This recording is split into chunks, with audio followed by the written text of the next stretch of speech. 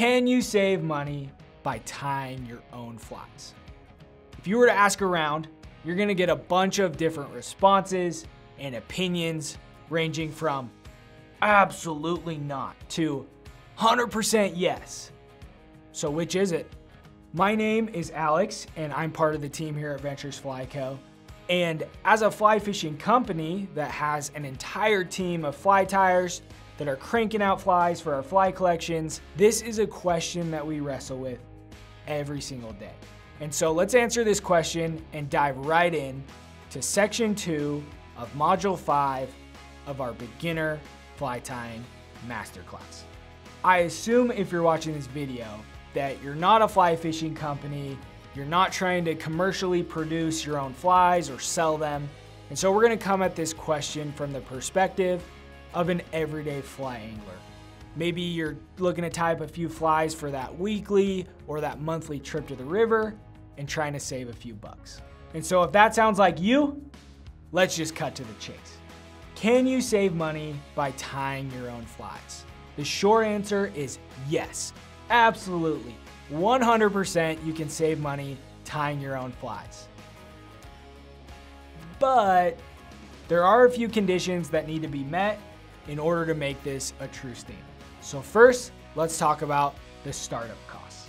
So in order to start tying flies, you're obviously going to need a vise, which is gonna hold the hook while you're tying, and some tools.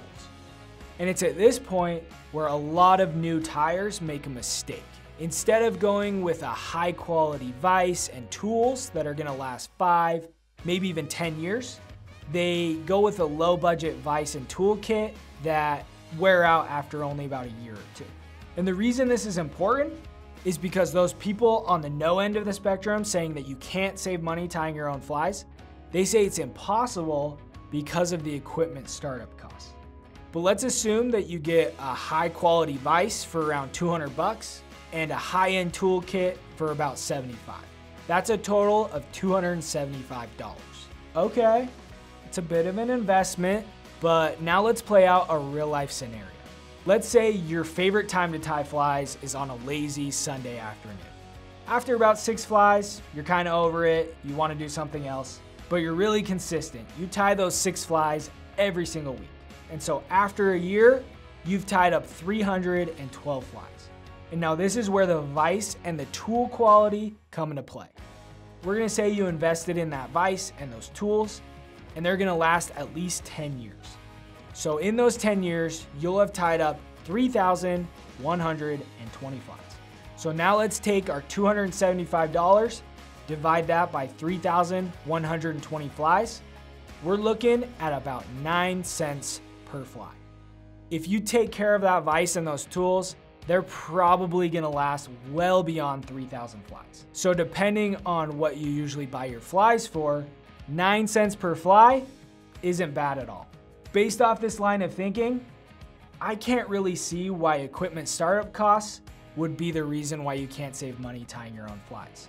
So this leads us into where the majority of the fly tying cost debate happens, and that's material costs. So here we have a classic zebra midge, black and silver.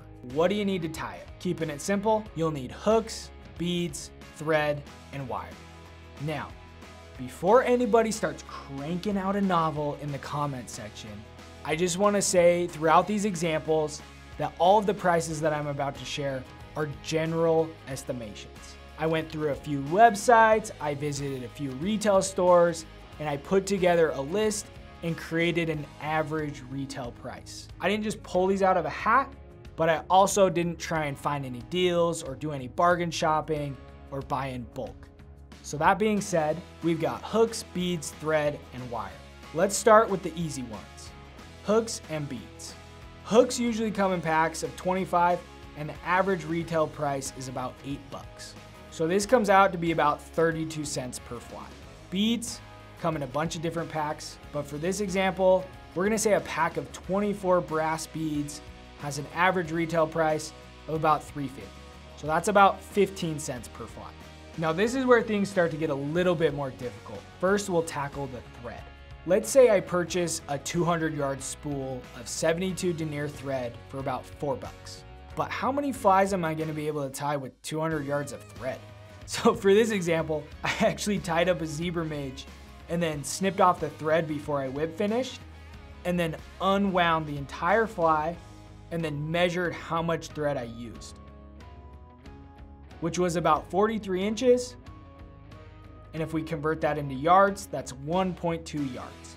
Now, obviously, this can vary depending on the fly tyer or the thread size or the pattern that you're tying, but this is probably a pretty good estimation and a few inches here and there is probably gonna be quite negligible in our final calculation. Okay, so 1.2 yards per fly, 200 yard spool of thread. We're gonna be able to tie up about 167 zebra midges. And this comes out to be about two cents per fly. And now the wire, let's say I pick up a 15 yard spool of small wire for three bucks. And then I snip off about two and a half inches or about 0.07 yards. We'll have enough for 214 zebra midges, and this comes out to about a cent per fly. Now, if we do some simple math, you're into materials for about $18.50 total, which comes out to be about 50 cents per fly. But because we only had 24 beads, we're gonna end up with some leftovers. You've got one extra hook, you've got some extra thread, and you've got some extra wire. And that 50 cents per fly that can be a little deceiving because that's assuming that we use the entire spool of thread and wire and that it's not just gonna sit on your tying desk for the next eight years. This is where all the debate comes from on whether you can save money tying your own flies or not because regardless of if you used all that thread or all that wire, you've already spent money on bulk materials. You've already spent that $18.50 up front. After tying those 24 zebra midges, you're actually sitting at about 77 cents per fly, which is still pretty good, but it's only once you use the leftover hook, thread, and wire that you get down to that 50 cents per fly. Where the majority of fly tyers end up, myself included, is you wanna tie a couple dry flies, a couple of nymph patterns, a few classic streamers, or you get online and you see that new blue winged olive pattern that's going to be absolutely perfect for the hatch this month. And little by little, you start to accumulate a giant collection of materials, a large percentage of which are only used for a couple of different patterns or that you're never gonna get through. And so just to drive this point home, we're gonna go over one more example. So let's say your goal is to fill up a dry fly box and be ready for most of the major hatches this year. So you write down a few patterns and the sizes that you like to fish. So my list would look something like this. Parachute Adams in sizes 12 to 18, Blue Wing Olive size 16 to 20, Elk-Hair Caddis size 12 to 16, PMD size 14 and 16, and Orange Stimulator size 8. There are other materials needed to tie these patterns, but we're just gonna keep it simple and focus on three of the major materials, and that's hooks, dubbing, and hackle. So hooks. If we're hoping to tie up all of these sizes, you're gonna have to pick up a separate pack for each size. That's six packs of hooks. And if we go with our standard $8 retail price, that comes out to 48 bucks. Now, if we fill up our entire dry fly box for the year, 48 bucks, it's not too bad. But keep in mind that if you don't tie up 25 of each size, you're gonna have extras. Now let's talk dubbing. Luckily they're all dry flies, so we only need to worry about super fine dubbing. But for the parachute Adams, you'll need Adams Gray, Blue Wing Olive, Brown Olive, Elk-Hair Caddis, Brown, PMD, PMD, Stimulator, Fluorescent Orange. Now luckily, Dubbing isn't super expensive as far as materials go. You're looking at about two to three bucks each bag, so a total investment of about $15. But the point here is now you have five different bags of dubbing in your material collection, and even small bags of dubbing like this have enough to tie dozens, if not hundreds of flies. And so I'd be surprised if you got through an entire bag of dubbing in a year, or two, or five. And the last material we'll talk about is hackle. For the parachute Adams, you'll need some grizzly and brown. Blue wing olive, you'll need some medium or dark dun. Elk-Hair Caddis, brown, PMD, light dun or cream, stimulator, grizzly, and brown. But to simplify things and try to save us some money, let's just say we're going to use medium dun for both the blue winged olive and PMD. Let's not forget that we're trying to add a good variety of sizes to our box, which means we'll need the appropriate sized hackle feathers. So with that color change and the sizes, our shopping list is as follows. And when it comes to dry fly hackle, we've got two options. You can either go with something like a Whiting 100 pack, which only has hackle feathers of a specific size and color. You can tie about 100 flies and each is about 20 bucks. So if we went down this route, you would need one pack for each individual color and size. So we would need 14 different packs, which would come out to be a total of $280. And being able to tie 1,400 flies, it comes out to about 20 cents per fly. Route number two would be to pick up something like a whiting dry fly cape. What makes a cape unique is the variety of sizes it offers.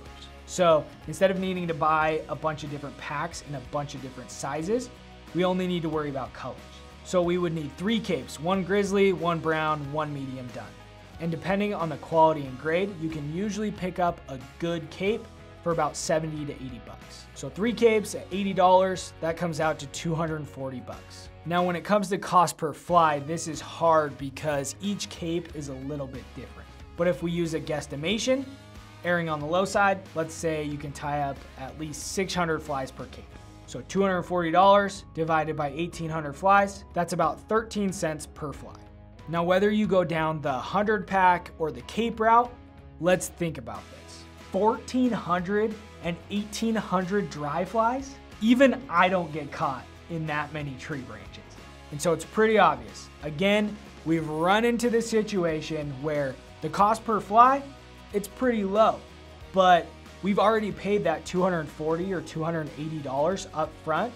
And the likelihood of us getting through all of those materials, all of those hackle feathers, it's pretty low. Now that we've analyzed the costs associated with equipment and materials and run through a few examples, what are the major takeaways? On one side, you can save money tying your own flies if you, one, have a long enough time horizon. So you see that equipment and materials as a 10 plus year investment. And you eventually use all the materials that you buy. And then number two, you're very disciplined and intentional. You only buy the materials that you need, you only tie the patterns that you use the most often, and you share materials between patterns, like using the medium dun instead of light dun on the PMD. And on the other side, you won't save money tying your own flies if you, one, want to save in the short term. So that's upgrading or buying new equipment, or you never use all your materials. And two, you like to experiment and try new things. You buy a lot of new materials, you tie a lot of patterns, and you follow every single recipe to the letter. The reality is, if you're like me, and if you're like most other anglers that tie their own flies, you're gonna end up spending more money than you want to.